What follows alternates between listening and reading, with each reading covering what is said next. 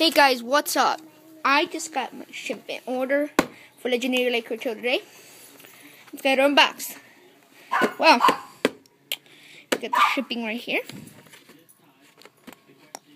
God, such a nice figure. So we ordered her from ToysRUs.com. And I have to get to my house to unbox her. Or we can unbox her here. I'm not sure. Well, the video will be up of the unboxing soon. So stay tuned on my channel for the unboxing video. I will see you guys in the future. Bye.